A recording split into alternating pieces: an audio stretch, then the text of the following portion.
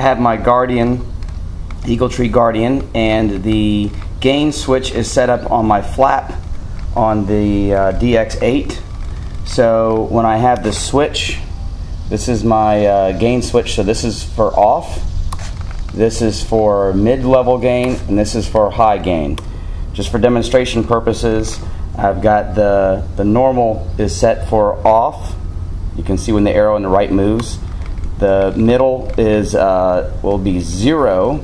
Okay, so that's center uh, servo position, and then full position for the servo 100% will be the highest gain setting. So what I'm going to do is set the camera here so that I've got it positioned with the left aileron and right now my gain is set to zero and you can see when I rock the plane it does not move. Now I'm going to go to the middle. You can see how much it moves.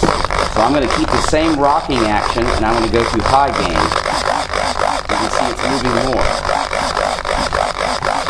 Okay, this is back to center gain and this is to zero. So you can see how a higher gain setting for the gain channel will basically make the aileron deflect more when there's motion.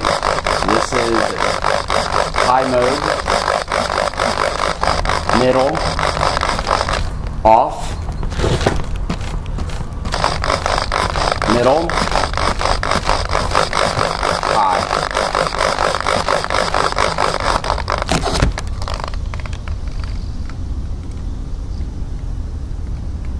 Middle, off, and high.